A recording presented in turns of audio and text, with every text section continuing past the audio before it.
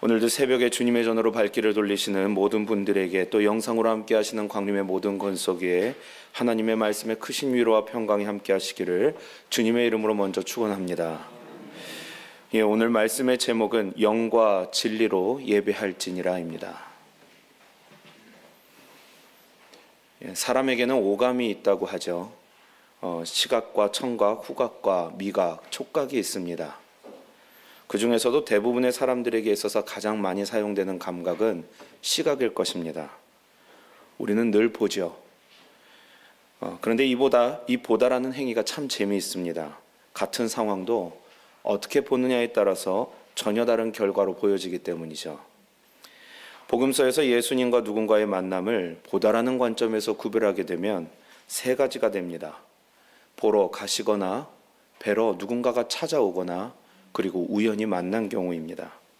그런데 이 우연히 보게 된 경우에는 예수님과의 깊은 교제와 관계성이 늘 생기더라는 것이죠. 세리 마태의 경우가 그랬습니다. 주님은 우연히 세관에 앉아 있던 마태를 보고 따라오라 하신 후에 그는 그 사건 이후에 제자가 됩니다. 마태도 순응하였던 것이죠. 본문이 되는 말씀은 예수님께서 사마리아 여인과 나눈 대화를 기록하고 있습니다. 이는 요한복음 4장뿐 아니라 우리가 드리는 예배의 본질을 다루고 있기에 매우 중요한 이야기가 될 것입니다. 본문의 분위기가 잘 전달되기 위해 먼저 시대적인 상황을 우리가 조금 나누려고 합니다. 어, 이스라엘의 민족은 분열되었죠. 우리 모두가 어느 정도 알고 있는 얘기입니다. 한쪽은 예루살렘으로 대변되는 남유다, 남유다 왕국이고 다른 한편으로는 사마리아로 대변되는 북이스라엘 왕국입니다. 우리가 북한의 사람들과 대적하고 있듯이 이들 역시 후손 대대로 사이가 좋지 않았습니다. 같은 하나님을 분명 섬기고는 있지만 방식도 내용도 크게 다르는 삶을 살고 있었던 것이죠. 이 시대적 배경에서 오늘 유대인인 예수님께서 그를 적대시할 수밖에 없는 사마리아의 땅으로 들어가게 되시는 것이 본문의 시작입니다. 때가 현재의 시간으로 보면은 정오 12시쯤 됩니다. 이 시간대 당시에 고대 근동 지역은 햇볕이 엄청 뜨거웠습니다. 그래서 대부분은 집에서 그냥 나오지 않고 낮잠을 자거나 쉬는 시간으로 했던 것이 이 시간이었습니다. 그런데 더위에 목마른 상태에서 예수님은 그 동네의 우물가를 찾아가시죠. 그리고 그곳에는 한 여인을 만나게 되십니다. 처음 예수님께서 그 여인에게 물을 좀 달라 요청하셨습니다. 여자는 그러나 유대인이라는 이유 하나만으로 예수님을 적대시하죠. 당연한 것입니다. 여자는 논리적으로 비꼬면서 어떻게 나에게 물을 주려고 할 수 있냐고 얘기하죠. 그러나 예수님은 계속 그녀를 설득합니다. 15절을 읽어보면 여인이 예수님의 말을 신뢰한 듯 하지만 사실은 그러한 물이 어디 있냐라는 반어법의 표현으로 예수님을 비꼬는 것을 알 수 있게 됩니다. 할 수 있다면 해보라는 것이죠. 근데 느닷없이 예수님은 그 가운데에서 여인에게 내 남편을 데려오라라는 말씀을 하십니다. 그러자 여인은 갑자기 태도가 달라져서 나에게는 남편이 없다라고 얘기합니다. 그리고 그 가운데 사실 아무도 나오지 않는 무더운 시간에 물을 길러, 물을 길러 나오는 여인의 그 사정, 그 모든 것을 아시는 예수님께서 여인이 알려주지도 않은 그 수치스러운 비밀을 여인 앞에서 폭로하십니다. 오늘 18절 말씀입니다. 너에게 남편 다섯이 있었고 지금 있는 자도 내 남편이 아니니 내 말이 참되도다. 자세한 사정은 알 수 없지만 사마리아 여인은 매우 가엾고 불쌍한 인생을 산 것 같습니다.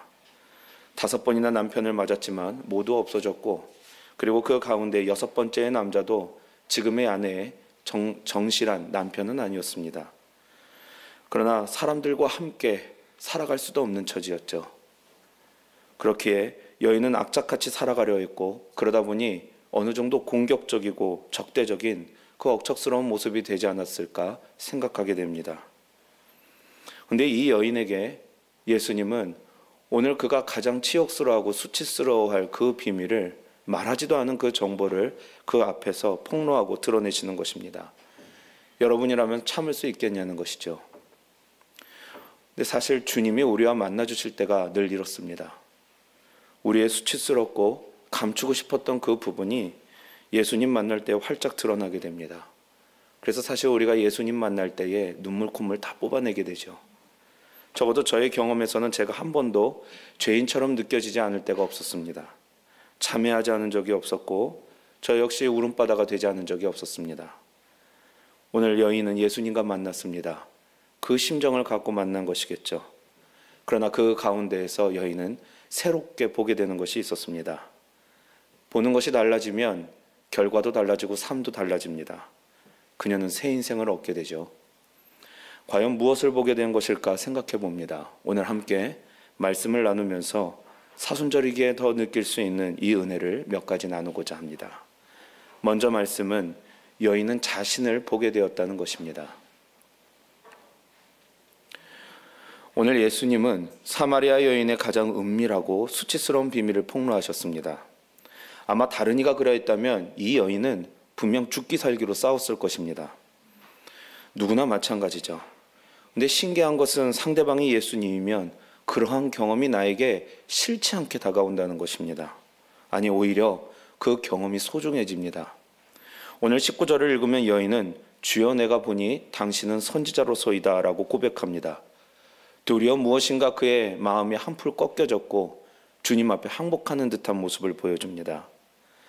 아마 예수를 만나보셨던 분들이라면 이 기분을 이해하실 것입니다. 이상하게도 예수님 만날 때는 내 모든 수치가 드러나는데 창피하지가 않습니다. 내 모든 가면이 벗겨지고 추악함이 드러남에도 불구하고 그것이 나의 서름과 복받치는 감정을 요동케 하는데도 그것이 싫지가 않습니다. 창피하지가 않고 두렵지도 않습니다. 사랑하는 여러분, 우리에게는 분명 상처가 있습니다. 그 상처는 내가 잘 알고 있지만 드러내지 않는 상처죠. 너무 아파서 보기만 해도 힘든 상처. 그래서 나 스스로도 건드리지 못하는 그러한 상처가 우리 모두 대부분에게 있습니다. 그러다 보니 그냥 덮고 있었기에 더 골마버리는 상처가 됩니다. 여인의 인생을 다시 한번 봅니다. 남편 다섯이 있었습니다. 지금 시대에도 흔한 일은 아니지만 당시 시대에서는 정말로 비참한 삶이었을 것입니다. 성경의 시대 가운데 보면 이러한 기구한 삶이 있을 수가 없습니다. 옷으로 온몸을 가리고 억척스럽게 살아가고는 있었겠지만 그 안은 상처가 골마터져 있었을 것입니다. 그럼에도 여인은 그 상처를 누구에게도 알리려 하지 않죠. 사실 우리도 그렇습니다. 우리가 아무리 아프고 힘들어도 세상은 알아주지 않다라고 우리는 생각합니다. 우리도 알고 있기에 우리도 아파도 숨깁니다. 몸이 아플 적에는 분명 의사에게 보일 때도 있지만 내 마음이 아플 적에 내가 이 안에서부터 부서질 때에는 누구에게도 보이지, 않으려 하는 것이 우리입니다. 그래서 가끔 누가 우리에게 손을 내밀어도 우리는 뿌리치죠. 그런데 뿌리칠 수 없는 손이 하나 있습니다. 예수 그리스도의 손입니다. 싸매어 주시고 치료해 주시고 위로해 주시는 손입니다. 그리고 비로소 거기서 우리는 우리 자신과 마주대하게 됩니다. 오늘 여인은 주님을 만났습니다. 그리고 그 손에 인도되어 드디어 상처 입은 자신과 대면하게 되었습니다. 한 발 더 나아가게 된 것이죠.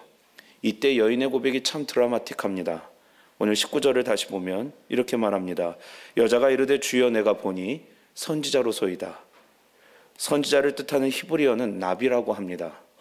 이는 부르다라는 뜻의 고대 근동어 아카더에서 파생된 단어입니다. 그래서 보는 관점에 따라서 이 선지자라는 말은 때로는 능동적인 의미에서 누군가를 부르는 사람이 되지만 수동적인 의미에서는 누군가에게 부름 받은 사람이 됩니다. 오늘 여인의 회복의 곳으로 부르시는 한 분이 계십니다. 바로 예수님이죠. 그리고 그 예수님의 끝없이 초청받으면서 새로운 길로 부름받는 여인이 있습니다. 예수님은 분명 시대의 선지자의 역할을 감당하셨죠. 이는 우리 모두가 알고 있는 사실입니다. 그런데 오늘 본문에는 잠재적인 선지자 한 명이 더 있습니다. 바로 우리가 보고 있는 자신의 상처를 마주대하게 된 여인입니다. 오늘 28절에서 30절 말씀입니다. 여자가 물동이를 버려두고 동네로 들어가서 사람들에게 이르되 내가 행한 모든 일을 내게 말한 사람을 와서 보라 이는 그리스도가 아니냐 하니 그들이 동네에서 나와 예수께로 오더라. 여인의 말에 수많은 이가 예수님 앞으로 가게 됩니다. 이제 그녀 또한 누군가를 부르는 사람이 되었다는 것입니다. 사랑하는 여러분, 누가 주의 일꾼이 되려면 참된 자녀의 모습으로 살아가려면 먼저 내가 복을 받아야 합니다. 회복이라는 복입니다. 내가 회복되어야 합니다. 예수님께서 이를 위해 오셨습니다. 그가 찔림은 우리의 허물 때문이요. 그가 상함은 우리의 죄악 때문이라. 그가 징계를 받음으로 우리는 평화를 누리고 그가 채찍에 맞음으로 우리는 나음을 얻었도다. 지금 우리는 누군가를 부르는 사람입니까? 아니면 부름 받은 사람입니까? 세상은 상처 입은 자들을 실패자라고 얘기합니다. 그러나 주님은 그들을 부르셔서 세상을 향한 일꾼으로 삼으십니다. 상처 입은 치유자. 오늘 예수 안에서 저와 여러분의 모습이 되기를 간절히 축원합니다. 두 번째 말씀입니다. 여인은 예수님을 보게 되었습니다. 여인은 예수님을 보게 되었습니다. 당시 예배는 사마리아 여인에게나 유대인들에게나 삶의 일부분이었으면 분명합니다. 삶의 힘을 되찾고 정결하게 하는 의식이었죠. 여인은 예배에 대하여 예수님께 오늘 묻습니다. 그리고 주님께서 대답하시는 것이 21절 말씀입니다. 예수께서 이르시되 여자여 내 말을 믿으라 이 산에서도 말고 예루살렘에서도 말고 너희가 아버지께 예배할 때가 이르리라. 사랑하는 여러분, 여인이 예수님과 같은 이스라엘 민족이라고 해서 예배에 대해서 같은 공감을 가지고 있다고 우리가 판단한다면 그것은 정말 큰 오산입니다. 그들은 서로의 믿음을 절대로 인정하지 않았습니다. 북한에 교회가 있지만 우리가 우리와 똑같은 교회라고 인정하기는 어렵죠. 이들은 더욱더 큰 적대감으로 서로를 대하던 민족이었습니다. 이 여인의 질문은 그렇게 오늘 너무나도 황당한 질문이 되는 것입니다. 왜 예배에 대한 정의를 낯선 남자 예수님께 물을까 하는 것이죠. 여인에게 예배의 삶이 있었던 것은 분명합니다. 그러니 질문했겠죠. 근데 아무리 예배해도 삶이 나아지지 않았던 것입니다. 비록 부끄러운 삶을 살고 있지만 그 역시 정결하게 되는 삶을 꿈꾸고 있었습니다. 그래서 예배를 드리면 나도 정결하게 되겠지라는 마음을 가지고 수없이 예배를 했지만 정결함을 입을 수가 없었던 것이죠. 그 궁금함에 그녀는 장소를 물어봅니다. 혹시나 예수님 계신 그 곳에서는 내가 보니 선지자 같은 당신이 있는 곳에서는 정결한 예배가 드려지고 있는가 궁금했던 것입니다. 그러자 주님께서 장소의 문제가 아니라 때의 문제라고 말씀하시는 것입니다. 그런데 그 때가 바로 지금이라고 말씀하십니다. 25절에 드디어 여인은 자신이 예배하는 목적을 밝힙니다. 메시아라는 구원자가 있는데 그가 오시면 모든 것을 알려주신다라고 합니다. 무엇을 질문하고 또 무엇을 듣고 싶어 했을지 우리는 짐작할 수 있습니다. 내 인생이 왜 이렇게 되었는지, 아니, 바뀔 수는 있는지, 사실 우리도 궁금하죠. 주님 왜 지금 나에게 이러한 시련을 주십니까? 아니, 시련은 좋습니다. 내가 이 시련 가운데에서 헤어나올 수 있겠습니까? 우리는 늘 물어봅니다. 내 상처는 치유될 수 있는지, 내 미래는 다시 밝아질 수 있는지 주님께 물어볼 때에 주님께서 말씀하십니다. 오늘 26절 말씀입니다. 내게 말하는 내가 그라 하시니라. 그리스도가 바로 자신이라고 주님께서 밝히고 계시는 것입니다. 이제야 여인은 자신의 삶에 있었던 모든 질문들의 답이 되는 한 사람을 보게 됩니다. 예수를 보게 된 것입니다. 우리가 예배하는 목적은 간단합니다. 예수님 보기 위해서죠. 이외에 더 큰 능력도 더 큰 사랑도 없는 줄을 믿습니다. 예수님이 답입니다. 그래서 우리는 예수님 보아야 합니다. 새벽에 민명에 기도하실 때에 여러분 무엇을 보시려 하십니까? 바라기로는 우리의 모든 질문의 답이 되시는 예수 그리스도를 만나고 가시는 귀하고 복된 시간이 되시기를 주의 이름으로 간절히 축원합니다. 마지막 말씀입니다. 다른 이들을 보게 되었습니다. 사마리아 여인은 그녀의 일상이었던 우물에서 예수님을 만나게 되었죠. 그리고 변하게 됩니다. 먼저 예수님을 부르는 호칭이 변하게 됩니다. 구절에 보시면 예수님은 여인은 예수님을 두고 처음에는 당신이라는 말, 유대인이라는 표현을 사용합니다. 적대감을 드러내는 것이죠. 이 적대적인 표현이 예수님과 여인의 대화에서 조금씩 변하게 됩니다. 15절에는 주여라고 얘기합니다. 당시 타인의 남자를 높여 부르던 말이었는데 지금의 말로 얘기하자면 이제 점잖은 태도로 변하게 된 것입니다. 그런데 19절에 보니 자신의 형편을 드러내신 주님 앞에 또 호칭이 바뀌게 됩니다. 주여, 내가 보니 선지자로소이다. 마지막 변화는 그녀가 동네 사람들에게 나아갔을 때 그들에게 전한 호칭입니다. 마지막으로 오늘 29절에 있는 말씀입니다. 내가 행한 모든 일을 내게 말하는 사람을 와서 보라. 이는 그리스도가 아니냐 하니. 한 여인의 인생에서 처음에 유대인이라고 불렸던 한 남자는 이제 그의 인생을 송두리째 바꾼 그리스도가 되었습니다. 그리고 이 놀라운 변화는 곧 다른 변화로 이어지게 됩니다. 학생들이 제일 좋아하는 동네를 아십니까? 방학동이라고 합니다. 소방관들이 제일 가기 싫은 동네가 방화동이라고 하죠. 우스갯소리지만 이름이 참 중요하다는 것을 알고 있, 알게 됩니다. 수가의 원 발음은 쉬카르라고 하는데요. 이는 히브리어 쉐카르, 독주를 마시다, 술에 취하다, 그리고 그 가운데에 비틀거리며 가득 마시다라는 뜻에서 오게 되었습니다. 오늘 여인이 살고 있는 것이 어떠한 곳인지 우리에게 짐작하게 하는 곳입니다. 여인에게도 분명 소망은 없었습니다. 그러나 좀 더 우리가 눈을 넓혀 시각을 달리해 보면 그 여인이 살고 있었던 동네 또한 소망이 없었다는 것이죠. 그런데 오늘 이것 또한 변하게 됩니다. 30절의 말씀입니다. 그들이 동네에서 나와 예수께로 오더라. 1963년 8월 28일에 있었던 일입니다. 20세기 중반의 미국 사회는 차별로 인한 흑인들의 불만이 극도에 달했었습니다. 존 F 케네디는 그들을 향한 복지와 또 모든 것을 약속했지만 여전히 많은 곳에 흑인에 대한 차별은 일어났으며 그들의 가족은 고통받아야 했습니다. 그래서 그들의 지도자들은 다 함께 모여서 이 차별에 대해 우리가 항거하자라고 모이게 되죠. 그리고 나서 워싱턴 DC라고 하는 심장부와 같은 미국의 거리를 그들이 걷는 계획을 세웁니다. 말이 행진이지 언제 폭동으로 바뀔지 모르는 그러한 모임이었습니다. 25만, 25만 명의 환한 시민이 모인 이 자리에 한 젊은 목사님이 서게 됩니다. 그리고 자신이 하나님께 꿈을 받았노라고 고백하게 되죠. 우리가 너무나도 잘 알고 있는 유명한 연설입니다. 여러분 나에게는 꿈이 있습니다. 그 연설이 모인 25만 명의 화난 사람들을 진정시키고 감동시키게 됩니다. 폭동은 일어나지 않았죠. 그리스도를 만난 사람은 자신만을 보지 않습니다. 자신과 같았던 다른 사람을 보게 됩니다. 나를 회복시키셨던 주님 앞에서 나를 통해 회복시키실 다른 사람을 보게 된다는 것입니다. 그리고 때로 그 한 사람의 힘은 25만 명의 단결의 힘보다도 강력할 때가 있다는 것이죠. 사랑하는 여러분, 우리는 지금 분노의 시대를 살고 있습니다. 교회에 쏟아내는 분노, 세상에 쏟아내는 분노, 서로가 서로에게 쏟아내는 분노 가운데 우리는 그 분노의 시기를 지나가고 있습니다. 그러는 가운데 유일한 소망은 어디에 있는가? 우리가 생각해 봅니다. 유일한 소망의 답은 예수 그리스도인 줄 믿습니다. 이제 아파하는 세상을 또한 치유할 때입니다.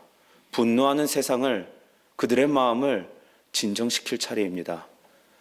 그것은 회복된 우리야말로 우리에게 주어진 사명이라는 것을 우리는 알아야 할 줄로 믿습니다. 영과 진로로 예배한다는 것은 성령과 예수 그리스도로 예배한다는 말과 같은 말입니다.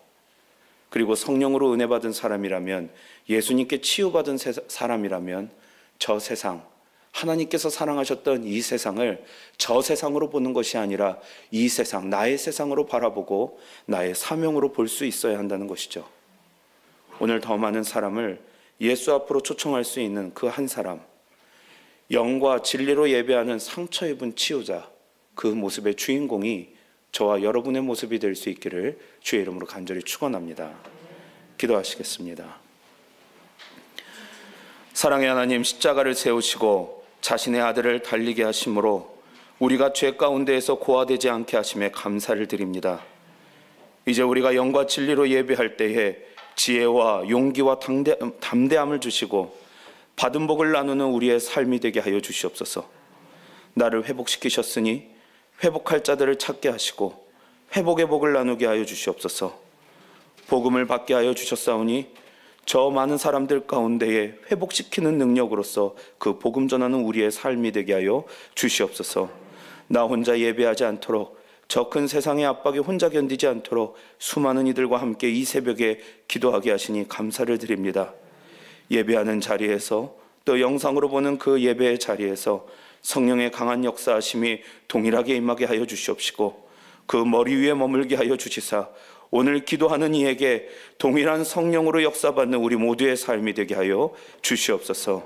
성전 문턱을 밟는 자마다 나누어 가게 하시고 함께 예배하며 기도하는 모든 이마다 큰 복을 가지고 돌아가게 하여 주시옵소서.